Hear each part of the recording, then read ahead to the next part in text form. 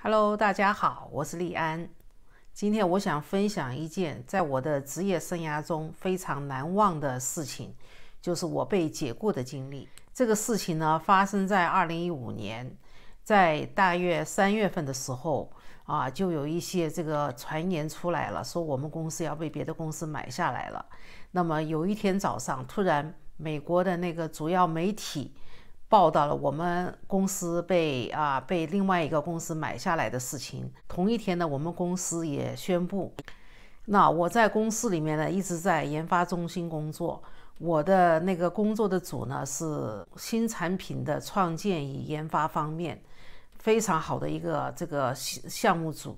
这份工作给了我很多的自由操作的空间，使我的那个想象力可以充分的发挥。而且还给了我很多的幸福感，因为每次走到那个超市里面，看到我研发的产品呢，在超在货架上的时候，我真是很感到很满足。随着年龄的增大呢，尤其是在被解雇前的一年啊一年半之内呢。其实我有几次的冲动，我想辞去这份工作，想早点退休。为什么呢？就是我这份工作非常的好，但是有也有啊我不喜欢的地方，就是经常去出差，啊在天上飞来飞去。而且呢，每一次新产品上市呢，要经过反复的实验，尤其是在工厂里面的实验，都是在那个晚上深更半夜。就是说，每次实验呢，我基本上晚上都没有办法睡觉。所以这种试验的时间呢，对我很折磨。有随着年龄的增大呢，我就想到了，我是用我的身体在挣钱，我觉得不值得。那我们这个研发中心呢，啊，聚集了很多行业的精英。自从那个我们公司被买下来。的事情啊，公布以后呢，这些精英呢就找到各种啊途径去了解这个新公司的背景。那么经过一段时间呢，这个我们大概就知道了，这个新公司呢主要以重建公司为主，他们不断的买公司进来，然后再啊给公司重新这个啊重新建造这个公司的结构。所以我们基基本上也就知道了这个。前途凶多吉少。第一批的大解雇呢，发生在二零一五年的八月十四号、十五号两天。八月十四号那天一大早呢，啊，当我走进办公室的时候，这个情况就有一点不一样。我就看到了好几个，三个一群，五个一组的在那里窃窃私语。后来我到了我的那个楼层上面，我就问他们。发生了什么事？马上就有同事来问我，我有没有收到啊那个 HR 的通知？我就马上把我的计算机打开来看一下，结果发现我啊接到了这个啊人事部门的通知，说跟我有个会啊八点三十分钟，我就告诉他们，我讲是呀，我接到了八点三十分，我跟那个 HR 有个会。他们就说，基本上断定了跟 HR 有会的人呢，就是要离开公司的人。当时最难过的一件事就是，我以后不会跟这么好的同事和朋友相处了，就是以后的机会很少了，这一辈子也不知道可以见几次面了。我们组有个小女孩，跟我女儿一样大的年龄，听说我跟那个 HR 有个会，他马上就跑到我那个办公桌前开始流眼泪。我就开玩笑跟他说：“我想你应该为你应该为我高兴才对。”我说你的妈妈跟我一样大的年龄，她早几年就退休了，我还在这里干，所以你不要难过。我讲其实这是个很好的机会，让我休息一下。我讲我也挺累的。我的会议是在八点三十分哈，八点三十分以前呢，就准备好了一个盒子，准备把自己的这个东西装在盒子里面，就像电视里面演的一样的，带着走，到时候出门用的。那么八点半差几分呢，我就走下去了，走到因为这个开会的地点是在人事部。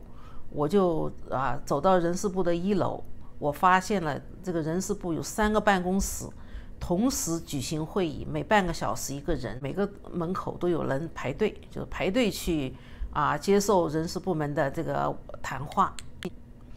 啊，我也在外面等了一会儿，就等到我了。后来那个前面的人出来以后，他们就请我进去。我进去了以后，我我就发现是新的主管和那个。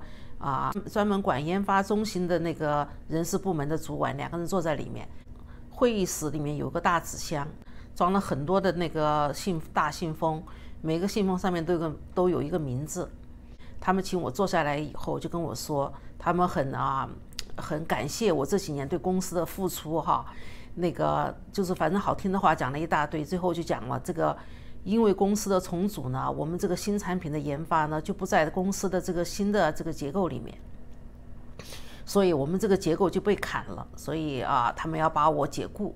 问我有有没有什么问题，那我就提了一些问题出来。我就问他，比如像我的，我还有剩下的 vacation 怎么办呐？等等啊。他们把我的信封拿出来以后，就跟我讲，你啊，你回去仔细看一下。如果呢，你没有什么意见呢，你就要把这个 package 的第一份文件啊签上名字，马上第五天，在五天之内必须寄回来。那么寄回来以后呢，我们就根据这个你寄回来的这个东西呢，啊，这个钱就会到你的账上，啊，讲了一下哈，那我就告辞了，我的会议就结束了，我就回到我的那个啊办公室。开完了会以后呢，我回到我自己的办公桌上，啊，根据他们的要求，我发了最后一份 email，就是告诉了那个我们的新主管我工作的进程，做了一个这个总结，然后我就把这个计算机关了。那一天哈，我在办公室待了大概两个小时多一点，啊，我看到很多人在流眼泪，啊，特别是有一些新来的人，啊，我知道我们这个新产品的研发组呢，啊，全部都没有了，这就是留了几个年轻人，可能并到别的组里面去了。有一个那个刚分来的那个博士生哈，他刚刚。才啊，在这个我们这个城市把房子买下来了。那么他跟我说，他还有学生贷款要还。其实他就跟我讲，他都不知道这个失去工作了以后怎么办啊。还有一个组全部都没有的，就是已经不在新公司的这个结构里面的是，是一个是搞基搞基础研究的组。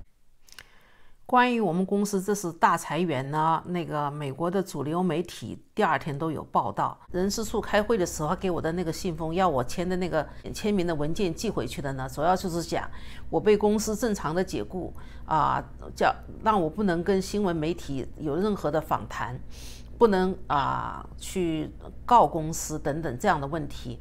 那我想想看，我肯定不会去告公司的，因为我很我还是很高兴的，因为公司给了我很好的 package。这接下来的一段日子呢，我们在这个啊同一个组的几个人，我们经常在一起聚集喝咖啡啊、吃吃饭啊什么的，我们就了解了很多人。即便是他当时留下来了，但是不能保证以后不走。而且公司的这个解雇是说说是当时讲是讲分三个三批举行，那我们是第一批。那在接下来的日子呢，我拿了这份很好的 package 了，那我还可以申请我们州的这个啊啊失业金。我的经历就分享完了。其实这段经历很难忘，但是对于我来说不是一件坏事啊。我现到现在来看呢，我都觉得这个来的这份解雇来的太及时了，真是帮了我一个很大的忙。好了，今天就到这里，谢谢大家的收看，我们下次再见。